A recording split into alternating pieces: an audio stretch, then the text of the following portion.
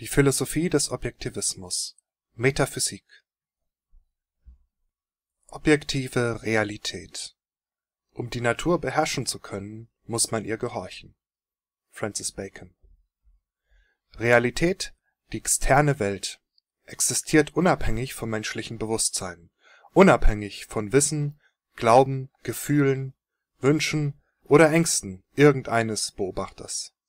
Das bedeutet A ist A Fakten sind Fakten, die Dinge sind, wie sie sind, und die Aufgabe des menschlichen Bewusstseins ist die Erkenntnis der Realität, nicht ihre Erschaffung oder Erfindung.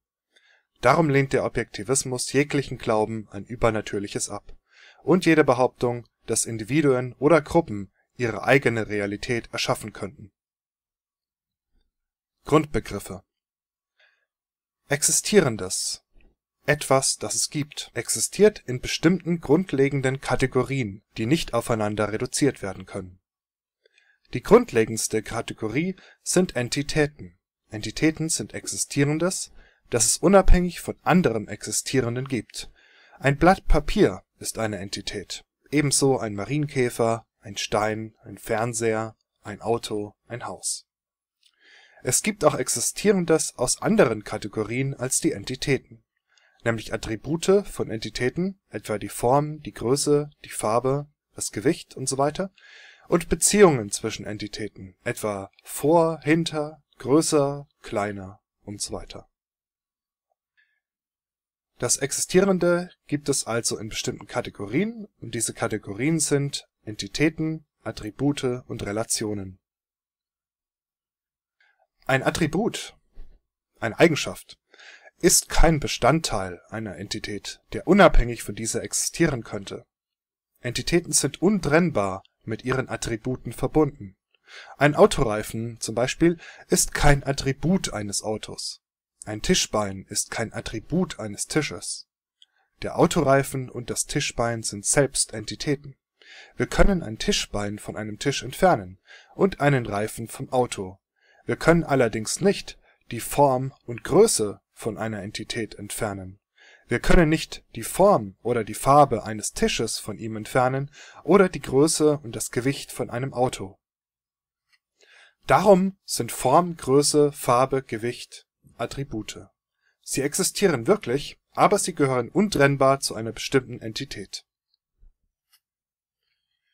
Natürlich können wir die Attribute verändern beispielsweise einem Auto eine neue grüne Lackierung verpassen, aber die Attribute gehören stets zu den Entitäten. Ein Auto hat die Farbe grün. Ein Auto hat immer eine bestimmte Farbe. Und grün hat sich nicht selbst, es gibt kein Grün ohne etwas, das grün ist. Es gibt keine Größe ohne etwas, das eine Größe besitzt, ohne etwas, das groß, groß ist oder das klein ist. Es gibt keine Größe ohne etwas, das eine Größe hat es gibt keine Form ohne etwas, das eine Form hat. Ein Ahornblatt hat eine grüne Farbe. Eine grüne Farbe im allgemeinen Sinne, also ohne eine bestimmte Entität, die grün wäre, existiert nicht. Beziehungen existieren zwischen Entitäten. Ein Buch liegt auf dem Tisch, ein Rad ist am Auto angebracht und ein Reifen am Rad. Eine Katze steht vor meinem Haus, ein Hund liegt auf dem Nachbargrundstück und bellt sie an. Handlungen und Geschehnisse haben eine eigene Identität. Handlungen und Geschehnisse gehören allerdings stets zu einer bestimmten Entität dazu. Ein Sänger (eine Entität) singt (das ist die Handlung). Er übt die Handlung des Singens aus. Ein Rad dreht sich, ihm ist das Geschehnis des Drehens zugeordnet. Das Drehen hat die Identität kreisförmige Bewegung. Auch Elementarpartikel sind Entitäten Sie haben Attribute, sie lösen Geschehnisse aus und sie stehen in bestimmten Beziehungen zu anderen Entitäten. Elementarpartikel sind also Entitäten mit einer bestimmten Identität. Metaphysische Axiome Im Gegensatz zu Immanuel Kant behauptet der Objektivismus nicht, dass es inhärentes angeborenes Wissen, die Kategorien gäbe. Auch die Axiome beruhen auf Erfahrung, so wie alles Wissen auf Erfahrung beruht nur sind die Axiome im Gegensatz zum übrigen Wissen unmittelbar erkennbar. entweder durch Beobachtung oder durch Introspektion, die sogenannte innere Beobachtung, also die Beobachtung von Vorgängen in unserem Geist. Diese Axiome sind erstens die Existenz. Die Existenz existiert. Das bedeutet, die Welt ist real, es gibt sie wirklich, unabhängig von unseren subjektiven Vorstellungen. Zweitens die Identität. Die Dinge sind, wie sie sind. Ein Ding ist, was es ist. A ist A. Etwas kann nicht zugleich A und nicht A sein, und ein Ding muss entweder A oder nicht A sein. Dann das Bewusstsein bedeutet, du weißt es. Also du weißt, dass es etwas da draußen gibt. Die Welt ist mittels bewusster Wahrnehmung erfahrbar. Jeder Versuch, diese drei Grundaxiome zu widerlegen, erfordert die implizite Akzeptanz aller drei Grundaxiome. Das heißt also, während man versucht, diese Grundaxiome zu widerlegen, erkennt man sie automatisch bei diesem Versuch an. Weil man sie anders gar nicht, gar nicht mal den Versuch wagen kann, sie zu widerlegen. Man könnte auch noch die Kausalität und die Willensfreiheit zu den objektiven Axiomen zählen. Die Kausalität ist die Anwendung des Identitätsaxioms auf Handlungen und Geschehnisse. Das heißt, Entitäten handeln ihrer Natur gemäß. Die Dinge sind, wie sie sind, Identität, und sie handeln entsprechend, Kausalität. Zusammengefasst: Es gibt (Existenz) etwas (Identität), das mir bewusst ist (Bewusstsein), und es handelt seiner Natur gemäß (Kausalität). Dann wäre da noch die Willensfreiheit. Der Mensch kann die Ursachen seines Handelns aus einem Spektrum von Möglichkeiten mittels bewusster Abwägung selbst auswählen. Damit wird nicht geleugnet, dass der Mensch Handlungen auch lernen und automatisieren kann zum Beispiel Fahrradfahren und Treppensteigen, ohne jeweils eine bewusste Entscheidung treffen zu müssen. Nur der Mensch hat einen freien Willen. Es gibt Tierarten, die über ein Bewusstsein verfügen, aber nicht über ein sogenanntes voluntaristisches Bewusstsein, also über die Willensfreiheit, ein Bewusstsein, das selbst etwas auslösen kann. Die Axiome im Detail Ein Rand sagte über die metaphysischen Axiome ein axiomatisches Konzept ist die Identifikation einer grundlegenden Tatsache der Realität, die nicht analysiert, das heißt in andere Tatsachen oder Bestandteile aufgebrochen werden kann. Es ist in allen Tatsachen und in allem Wissen implizit. Ferner, da sich axiomatische Konzepte auf Tatsachen der Realität beziehen und keine Angelegenheit des Glaubens sind oder von der beliebigen Wahl des Menschen gibt es eine Möglichkeit, um sich zu vergewissern, ob ein bestimmtes Konzept axiomatisch ist oder nicht. Man vergewissert sich, indem man die Tatsache beobachtet, dass man einem axiomatischen Konzept nicht ausweichen kann, dass es implizit in allem Wissen ist, dass es sogar bei jedem Versuch, es zu widerlegen, vorausgesetzt werden muss es lohnt an dieser Stelle festzustellen, was die Feinde der Vernunft zu wissen scheinen, aber ihre angeblichen Verteidiger noch nicht herausgefunden haben, nämlich die Tatsache, dass axiomatische Konzepte die Beschützer des menschlichen Verstandes sind und das Fundament der Vernunft, der Grundpfeiler, der Prüfstein und das Gütesiegel der Vernunft. Und falls die Vernunft zerstört werden soll, so sind es axiomatische Konzepte, die zerstört werden müssen Nun weitere Erklärungen zu den Axiomen in größerem Detail. Erstens die Existenz. Die Existenz existiert, das bedeutet, es gibt etwas im Gegensatz zu nichts. Alles was war, was ist und was sein wird, ist dem Existenzaxiom angelegt. Was das ist, das es gibt, das wird an dieser Stelle noch nicht definiert.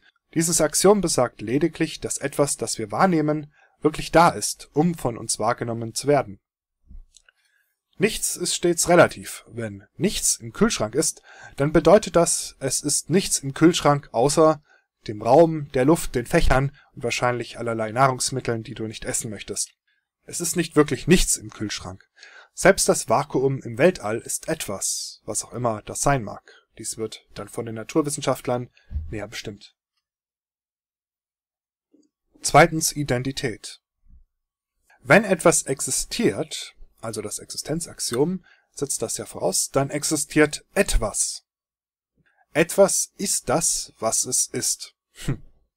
Mit anderen Worten, die Dinge sind etwas Bestimmtes, im Gegensatz zu etwas Nebulösem, nicht definierbaren und ursachelos Wandelbarem. Allgemein sagt man, dass jedes Etwas, jede Entität, eine spezifische Natur habe, womit die Natur einer Sache ein Attribut seiner Substanz wäre. Ein Mensch habe beispielsweise eine menschliche Natur. Doch laut dem Objektivismus ist ein Ding hingegen seine Natur. Der Mensch ist das, was seine Natur auszeichnet. Er ist die Summe seiner Eigenschaften, seiner Attribute.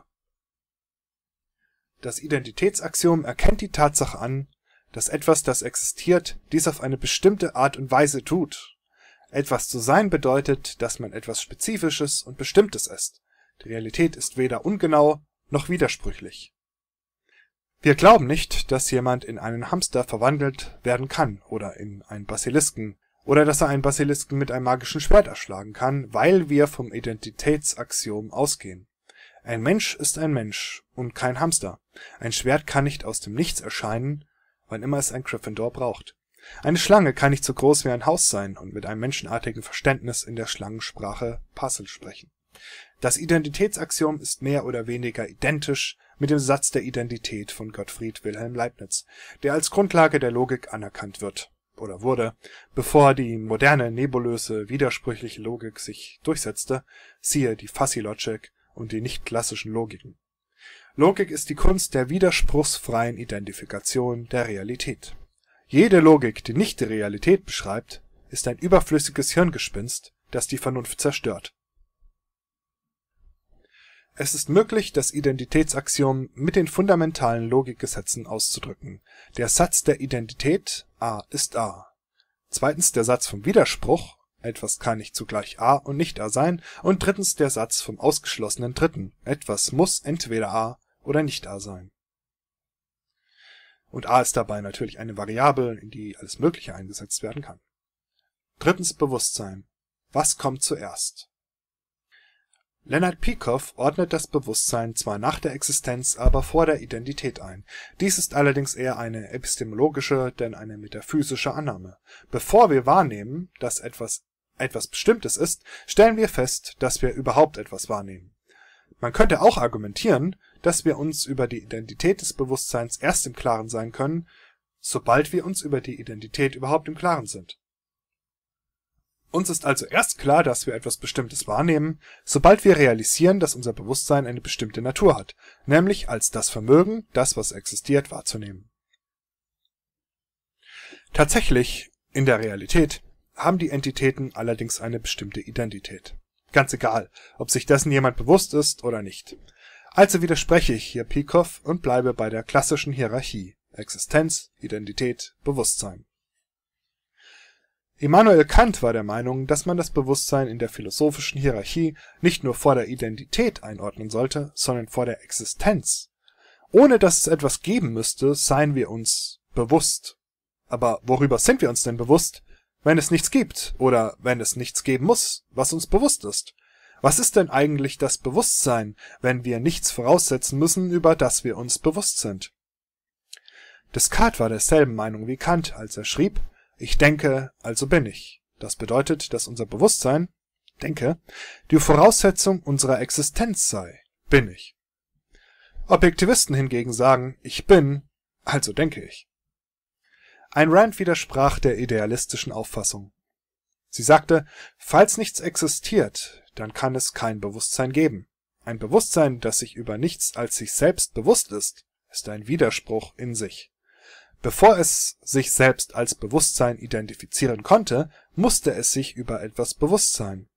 Falls das, was du wahrzunehmen behauptest, nicht existiert, dann ist das, was du besitzt, kein Bewusstsein. Es gibt also kein Bewusstsein ohne etwas, das wir wahrnehmen. Auch unsere Träume, die Descartes als Gegenargument anführte, bestehen aus Gegenständen, die wir zuvor wahrgenommen haben. Verschiedene Personen, Objekte, Geräusche, die wir im Wachzustand bewusst mit unseren Sinnen wahrnehmen, werden in unseren Träumen verarbeitet, in der Regel auf äh, recht unsinnige Weise. Wir träumen von Fahrstühlen, von Elefanten, von unserer Lieblingsmusik, aber wir träumen niemals vom Bewusstsein, es ist unmöglich, sich das Bewusstsein als solches vorzustellen. Was also ist das Bewusstsein? Das Bewusstsein ist die Fähigkeit, aufmerksam zu sein, die Fähigkeit, das wahrzunehmen, was existiert. Aufmerksamkeit ist kein passiver Zustand, sondern ein aktiver Vorgang. Auf den niederen Ebenen der Aufmerksamkeit ist ein komplexer neurologischer Vorgang notwendig, der den Menschen in die Lage versetzt, eine Sinnesempfindung zu erleben und Sinnesempfindungen in Wahrnehmungen zu integrieren. Dieser Vorgang ist automatisch und unfreiwillig. Der Mensch ist sich über die Ergebnisse bewusst, aber nicht über den Vorgang selbst. Auf der höheren begrifflichen Ebene ist der Vorgang psychologisch, bewusst und freiwillig. In jedem der Fälle wird die Aufmerksamkeit durch ständige Aktivität erzeugt und aufrechterhalten. Jedes Bewusstseinsphänomen ist direkt oder indirekt vom eigenen Gewahrsein der externen Welt abgeleitet. Irgendein Objekt, das heißt irgendein Inhalt, hat einen Anteil an jeder Ebene des Gewahrseins Extrospektion ist ein nach außen gerichteter Erkenntnisvorgang, ein Vorgang des Verstehens von irgendwelchen Gegenständen der externen Welt. Introspektion ist ein Erkenntnisvorgang, der nach innen gerichtet ist, ein Vorgang des Erfassens der eigenen psychologischen Aktivitäten in Hinblick auf bestimmte Gegenstände der externen Welt. Solche Aktivitäten wie Denken, Fühlen, in Erinnerungen schwelgen eine Sinnesempfindung ist die einfachste, nicht reduzierbare Form des Gewahrseins. Sie wird erzeugt, indem ein Stimulus auf ein Sinnesorgan einwirkt (Licht auf die Netzhaut im Auge, Druck auf die Haut, Schallwellen auf das Trommelfell). Eine Wahrnehmung ist die interne Repräsentation des Gehirns von externen Entitäten. Wenn wir ein rotes Auto sehen, dann ist das keine bloße Sinnesempfindung, sondern es ist eine Repräsentation ein Modell wird das inzwischen von Bewusstseinsphilosophen genannt, aber es ist kein Modell, sondern die Wahrnehmung der Realität auf eine bestimmte Weise. Also eine Repräsentation von etwas, das es wirklich da draußen gibt. Bienen nehmen Blüten anders wahr, nämlich ultraviolett als wir, aber das bedeutet nicht, dass das, was wir beide wahrnehmen, nicht existieren würde. Irgendwie muss man die Realität schließlich wahrnehmen. Interessant ist in diesem Zusammenhang auch die Frage, ob eine bestimmte Art des Bewusstseins angeboren ist oder ob es beliebig geformt werden kann. Könnte das menschliche Bewusstsein auch dann noch funktionieren, wenn man es überzeugt, dass a gleich b ist oder dass 2 plus 2 gleich 5 ist? Dieses häufig gebrauchte Beispiel stammt übrigens aus George Orwells Dystopie 1984, in der es dazu dient, den Verstand der Hauptfigur Winston Smith zu zerstören und ihn zu einem gefügigen Sklaven des totalitären Staates zu machen ein Rand schließt sich in dieser Hinsicht John Locke an. Das, was unser Verständnis mit allen Materialien des Denkens ausstattet, ist unsere Beobachtung entweder von externen wahrnehmbaren Objekten oder von internen Operationen unseres Geistes, die wir wahrnehmen und über die wir reflektieren. So schreibt Locke in An Essay Concerning Human Understanding zweites Buch.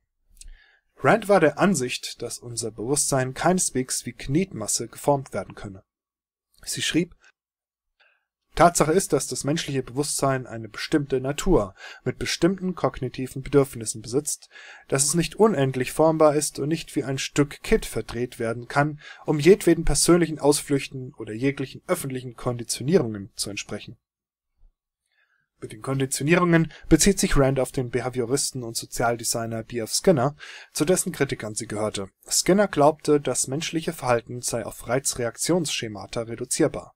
Das Innenleben des Menschen sei im Grunde nur verborgenes Verhalten. Tatsächlich ist das Innenleben weit mehr als verborgenes Verhalten und wir können es mittels Introspektion erforschen. Viertens Kausalität Kausalität ist das Prinzip, dass Entitäten ihrer Natur gemäß handeln.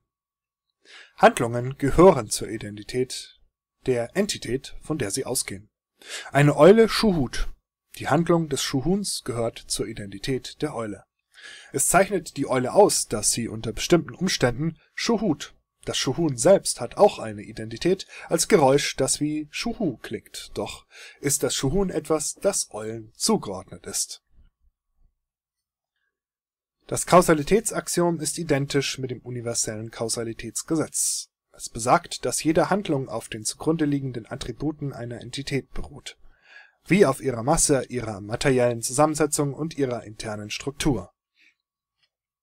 Ein Rad, also eine Entität, kann sich drehen, weil es so gefertigt wurde, dass es sich drehen kann. Es hängt an einer Achse, das ist eine Relation, und es ist rund, Das ist ein Attribut. Derweil ist ein Hamster so beschaffen, dass er in einem Rad herumlaufen und so das Rad zum Drehen bringen kann. Ein Hamster ist ein Zeugetier, das Handlungen auslösen kann, zu denen das Laufen in einem Rad gehört. Das ist seine Identität.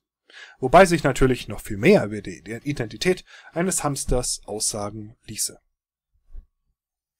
Kausalität hat also etwas mit den Beziehungen zwischen der Natur von Entitäten und ihren Handlungen zu tun. Dies ist die Auffassung von Aristoteles. Das Gegenstück zu dieser Auffassung ist jene des skeptischen Philosophen David Hume, welcher der Meinung war, Kausalität habe etwas zu tun mit einer Beziehung zwischen Geschehnissen. Eine Billardkugel stößt eine andere Kugel an. Das Geschehnis des Anstoßens löse Hume zufolge das Geschehnis des Abprallens der anderen Kugel aus. Kausalität meint laut Hume also, dass Geschehnisse andere Geschehnisse auslösen. Er erklärte daraufhin die Verbindung zwischen Ursache und Wirkung zu einer, die wir uns einbilden könnten und es sei nicht garantiert, dass Kausalität morgen noch gelte, dass die Sonne morgen noch aufgehe. Der aristotelischen und objektivistischen Auffassung zufolge sind es allerdings die Entitäten, von denen Geschehnisse ausgehen. Nicht das Geschehnis, der Aufprall einer Kugel auf eine andere, tut etwas, wie Hume das sieht, sondern die Entitäten, die Billardkugeln, tun etwas, so wie Aristoteles das sieht. Nicht der Aufprall ist die Ursache des Aufpralls, sondern die Kugeln sind die Ursache des Aufpralls. Die Billardkugeln reagieren darum auf ihre bestimmte Art auf Zusammenstöße mit anderen Kugeln, weil sie solide und kugelförmig sind. Das sind die Attribute, die zur Identität der Kugeln gehören. Wenn hingegen flüssiges Wachs auf eine Billardkugel tropft, so stößt das Wachs die Kugel nicht auf eine andere, sondern das Wachs bereitet sich auf der Oberfläche der Kugel aus und wird hart ein Geschehnis und eine Handlung ist also kein kausaler Akteur, sondern eine Zeitspanne, innerhalb derer Entitäten handeln. Geschehnisse sind die Auswirkungen von Entitäten und nicht die Auswirkungen von abstrakten Konzepten dieser Auswirkungen, wie die Naturgesetze. Die Naturgesetze tun nichts, sie beschreiben lediglich die kausalen Eigenschaften von Entitäten. Die Entitäten selbst tun etwas wenn eine Billardkugel auf den Boden fällt, so ist es nicht das Gravitationsgesetz, das sie nach unten zieht, sondern es ist die Erdanziehungskraft, die Gravitation selbst. Vorrang der Existenz Was bedeutet es nun, dass die Existenz in der philosophischen Hierarchie vor dem Bewusstsein anzusiedeln ist? Nun erstens, es gibt keinen Schöpfer, kein Schöpfergott. Existenz benötigt kein Schöpferbewusstsein. Gott, denn die Existenz kommt ja vor dem Bewusstsein. Hm. Etwas muss also existieren, bevor es das, was existiert, bewusst wahrnehmen kann. Es ist logisch unmöglich, dass ein Bewusstsein die Existenz hervorbringt, dass Gott die Welt erschaffen hat. Wissenschaftliche Erkenntnisse sind überflüssig, um diesen Sachverhalt aufzuzeigen. Was logisch unmöglich ist, das kann nicht existieren. Zweitens keine individuelle Magie. Gedanken verändern nicht die Naturgesetze. Das Bewusstsein verändert nicht die Existenz. Zuerst sind die Naturgesetze da und bringen dann ein Bewusstsein hervor, das sie erkennen kann. Ein Bewusstsein bringt nicht die Naturgesetze hervor, wie es etwa im Falle der Magie ist. Die Existenz existiert unabhängig von einem individuellen Bewusstsein. Drittens keine kulturelle Magie. Die Existenz existiert unabhängig von den Vorstellungen von einer Gruppe von Menschen, unabhängig von einem kulturellen Bewusstsein. Das heißt, auch Kulturen erschaffen nicht ihre eigene Realität. Natürlich haben sie eine gewisse eigene Lebenswelt, aber sie erschaffen nicht eine metaphysische Realität. Sie haben nicht eine Kultur mit anderen Naturgesetzen, als wir sie haben.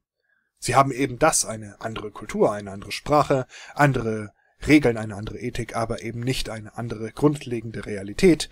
Und je nachdem, wie lebensdienlich ihre Ethik ist, werden sie damit in der Realität scheitern oder in ihr erfolgreich sein. Schlussfolgerung. Das metaphysisch Gegebene ist absolut, seine Bestandteile sind ungeschaffen und ewig, seine Gesetze unverletzlich. Um die Natur beherrschen zu können, muss man ihr gehorchen, wie Francis Bacon es ausdrückte. Die Uniformität der Natur Wenn Handlungen von der Natur der handelnden Entitäten bestimmt werden, so können wir von den Handlungen einer Entität auf die Handlungen jener mit derselben Natur schließen. Dieselbe oder eine genau gleiche Entität wird also unter denselben Umständen auf dieselbe Art und Weise handeln. Induktion, also die Folgerung allgemeiner Gesetze aus Einzelbeobachtungen, ist nur dann möglich, wenn alles, was hier bislang ausgeführt wurde, zutrifft wenn Entitäten nicht ihrer Natur gemäß handelten, so wären aus dem Verhalten einiger Entitäten einer bestimmten Art keine Schlussfolgerungen auf das Verhalten anderer Entitäten derselben Art möglich. Wir wüssten niemals, ob eine Billardkugel der identischen Form und mit dem identischen Gewicht wie eine andere Billardkugel sich ebenso verhalten würde wie diese oder wie etwas vollkommen anderes Wäre die Kausalität im Sinne des Objektivismus und im Sinne von Aristoteles inkorrekt, so könnte sich eine Billardkugel morgen ebenso verhalten wie ein Huhn. Eine Billardkugel könnte morgen vielleicht im Sand scharen und Eier legen. Laut Hume sei es lediglich unsere bisherige Erfahrung, dass sich die Dinge so verhalten, wie wir das kennen. Sie könnten sich tags darauf ganz anders verhalten. Induktion ist unentbehrlich für die Wissenschaften Forscher könnten nicht jeden Tropfen Wasser auf dem Planeten auf die Frage überprüfen, bei welcher Temperatur er kocht, also wo sich der Siedepunkt von Wasser befindet. Sie überprüfen eine bestimmte Menge Wasser und dann schlussfolgern sie, dass Wasser das Attribut besitzt Siedepunkt 100 Grad Celsius bei einem bestimmten Atmosphärendruck, wie er auf dem Großteil des Erdballs vorherrscht. Mittels Induktion können wir schlussfolgern, dass Wasser generell nur unter denselben Umständen bei derselben Temperatur kocht. Ohne Induktion wüssten wir nur so viel wie ein Tier. Oder wie David Hume, nämlich ausschließlich das, was wir gerade beobachten. Kausalität gegen Determinismus Der Determinismus geht davon aus, dass Geschehnisse aus anderen Geschehnissen hervorgehen und folgt daher Humes Auffassung Grundsätzlich gehen Geschehnisse eben nicht aus anderen Geschehnissen hervor, sondern sie gehen aus den Naturen der handelnden Entitäten hervor. Entitäten lösen Geschehnisse aus, mit anderen Worten. Inwiefern Umweltfaktoren von Bedeutung sind, hängt von den Identitäten der jeweiligen Entitäten ab. Beispielsweise ist von den Muskeln und der Haut der Dinosaurier nichts mehr übrig die Identitäten von Muskeln und Haut schließen keine Attribute ein, die zu einer Haltbarkeit führen würden, die mit der von Knochen vergleichbar wäre. Anders ausgedrückt verwesen Muskeln und Haut, während Knochen die Jahrtausende und Jahrmillionen besser überstehen, insbesondere wenn sie versteinern. Und dies liegt an ihrer jeweiligen Natur. Billardkugeln bewegen sich auf eine Weise, die genau von den Aufschlägen auf sie abhängt der Impuls der auftreffenden Kugel wird erhalten und an die getroffene Kugel weitergeleitet (abzüglich Dinge wie Reibung und Luftwiderstand). Lebewesen können im Gegensatz zur unbelebten Natur selbst Handlungen auslösen. Ein Stein liegt nur herum, aber eine Pflanze wächst und nimmt Nährstoffe aus der Luft und aus dem Boden auf. Bei Tieren, die über ein Bewusstsein verfügen, kommt ihr Bewusstsein der Umgebung und ihr Bewusstsein ihrer Bedürfnisse hinzu. Menschen schließlich sind sich ihrer selbst und ihrer geistigen Vorgänge bewusst. Oder könnte es jedenfalls sein. Es gehört zu ihrer Natur, darüber zu reflektieren oder darüber reflektieren zu können, welche ihre Bedürfnisse gegenüber anderen Vorrang haben und wie sie diese erfüllen können. Menschliche Entscheidungen werden vom eigenen Willen ausgelöst, der eine Wahl zwischen verschiedenen Alternativen trifft Menschen handeln somit ihrer Natur gemäß, wie alles andere seiner Natur gemäß handelt. Das Attribut Willensfreiheit gehört lediglich zur Identität des Menschen. Lediglich in Anführungszeichen. Idealismus versus Materialismus. Erstens Idealismus, der Mystizismus des Geistes Idealistische Denker wie Plato, Augustinus und Hegel hielten die Realität für eine spirituelle Dimension, die über die natürliche Welt hinausgeht und welche die natürliche Welt kontrolliert. Die natürliche Welt wird von idealistischen Denkern als mangelhaft und unwirklich angesehen. Zweitens Materialismus, der Mystizismus des Muskels. Materialistische Denker wie Demokrit, Hobbes und Marx halten das menschliche Bewusstsein für eine Illusion Heute wird es von Materialisten häufig als weitgehend vernachlässigbares Nebenprodukt des Gehirns oder der natürlichen Selektion oder beides bezeichnet. Der Materialismus impliziert, dass der Körper ohne Geist auskommt, Existenz ohne Bewusstsein. Materialisten leugnen also metaphysische Axiome, was zu Selbstwidersprüchen führt. Woher weiß ich, dass die Existenz existiert, wenn ich sie nicht wahrnehme? Materialisten sind ferner der Auffassung, der menschliche Geist sei unnatürlich, da er nicht durch Extrospektion erkennbar ist. Er hat keine Form, Farbe, keinen Geruch, kann nicht gewogen oder in ein Reagenzglas gesteckt werden. Man erkennt den Geist also nicht mit den Methoden der Naturwissenschaften. Nur man könnte ebenso sagen, dass die Nase irreal ist, da man sie nicht durch Introspektion erkennen kann und da sie nicht über sich selbst nachdenken oder sich verlieben kann. Wie der Idealismus den Körper leugnet, so leugnet der Materialismus den Geist.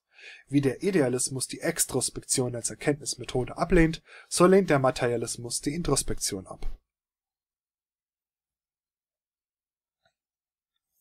Drittens Objektivismus Objektivisten sind der Auffassung, dass Geist und Körper beide existieren. Sie gehören gleichermaßen zur natürlichen Welt. Sowohl Extrospektion als auch Introspektion sind legitime Erkenntnismethoden.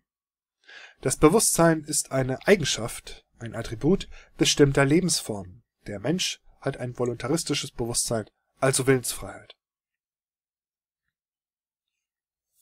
Das Bewusstsein ist direkt durch Introspektion beobachtbar. Das bedeutet, man kann an sich selbst nachvollziehen, wie man bewusste Entscheidungen trifft, wie man denkt, wie die eigenen Gefühle entstehen weiter. Die Funktion des Bewusstseins ist die Erkenntnis der Tatsachen der Realität zum Überleben. Zu den Tatsachen der Realität gehört die externe Welt, die wir mit unseren Sinnen beobachten. Aber zu den Tatsachen der Realität gehört auch, wie es das Orakel von Delphi ausdrückte, erkenne dich selbst. Die Verlässlichkeit der Sinne Bewusstsein ist das Vermögen, das was existiert wahrzunehmen, mit den Sinnesorganen. Das Bewusstseinsaxiom impliziert also verlässliche Sinne. Die Funktionsweise der Wahrnehmung Erstens, ein Stimulus trifft auf ein Sinnesorgan, beispielsweise Licht auf das Auge. Das ist die Sinnesempfindung. Dieser Vorgang läuft automatisch ab. Zweitens, eine Sinnesempfindung wird bewusst. Das ist die Wahrnehmung. Und dieser Vorgang läuft ebenso noch automatisch ab. Drittens, Fokussieren des Bewusstseins. Dieser Vorgang ist die erste freie Entscheidung des Menschen. Aufmerksamkeit. Ein fokussiertes Bewusstsein ist die Voraussetzung für das Denken. Auch wenn viele Schüler das inzwischen anders sehen. Ein Beweis ist die Rückführung einer Idee zu den Sinnesdaten. Die Sinnesdaten selbst können nicht bewiesen, sondern müssen vorausgesetzt werden. Sind die Sinne nicht valide, so sind es auch nicht die daraus abgeleiteten Konzepte, mit denen die Validität der Sinne bestritten wird. Man muss also von der Verlässlichkeit der Sinne ausgehen beim Versuch, sie zu widerlegen. Wenn man eine Tomate wahrnimmt, so gibt es keine Beweise, dass sie existiert, abgesehen davon, dass man es wahrnimmt, wie Leonard Peikoff meinte Nun zu optischen Illusionen. Optische Illusionen widerlegen nicht die Verlässlichkeit der Sinne. Unsere Sinne leiten den vollen Kontext der physischen Realität an das Gehirn weiter. Ein Stock, der im Wasser gebogen aussieht, der tut dies darum, weil Licht langsamer durch Wasser reist als durch Luft. Optische Illusionen spiegeln Tatsachen der Realität wider Unsere Sinne haben eine bestimmte Identität, also fangen sie bestimmte Aspekte der Realität auf eine bestimmte Art und Weise ein, sie haben aber keine Möglichkeit, unsere Wahrnehmung zu verfälschen. Die richtige Identifikation des Wahrgenommenen ist die Aufgabe des Geistes. Hierfür ist Wissen notwendig, etwa das Wissen über die Unterschiede bei der Geschwindigkeit des Lichts die Naturwissenschaften befassen sich mit der konzeptuellen Aufschlüsselung der Sinnesdaten.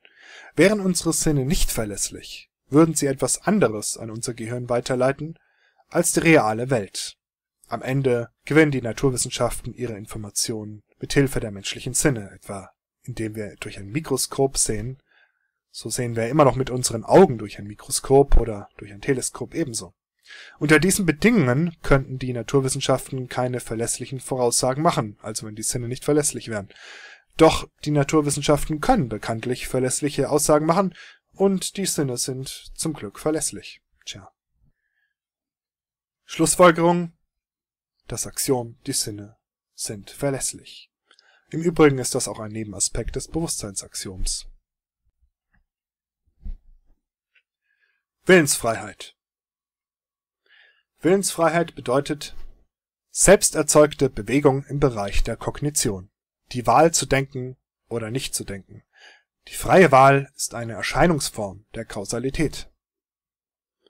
Kausalität bedeutet, wie erwähnt, dass Entitäten ihrer Natur gemäß handeln, und die Willensfreiheit gehört zur menschlichen Natur. Der Determinismus hingegen bedeutet, dass alles von vorherigen Ursachen bestimmt ist. Ein Determinist vertritt laut dem Determinismus, seiner eigenen Meinung nach, demnach automatisch den Determinismus. Andere Menschen wären demnach determiniert, an die Willensfreiheit zu glauben. Laut dem Determinismus wäre kein Beweis möglich die Objektivität wäre aufgehoben. Ohne Willensfreiheit wäre zudem die Ethik überflüssig. Wenn Menschen handeln, wie sie handeln müssen, dann müssen die Menschen alles blind akzeptieren, auch menschliches Handeln und Denken. Das politische System, das auf deterministischer Grundlage beruht, ist die totalitäre Diktatur. Siehe den Marxismus, laut dem die ökonomische Basis den philosophischen Überbau bestimme eine Form des Determinismus, und Nationalsozialismus, wo menschliche Persönlichkeit und Handlungen determiniert sind durch die Rassenzugehörigkeit der Menschen. Schlussfolgerung: Wir sind frei, die Willensfreiheit zu leugnen oder sie zu akzeptieren. Die Introspektion ist eine legitime Erkenntnisquelle und der Wille ist frei. Fazit: Die Realität ist ein Absolutum wir können die Naturgesetze nur erkennen, etwa mit den Wissenschaften, und sie für uns nutzen, mit der Technologie. Wir können sie nicht verändern, sie unterwerfen sich nicht unseren Wünschen, wie es die Magie behauptet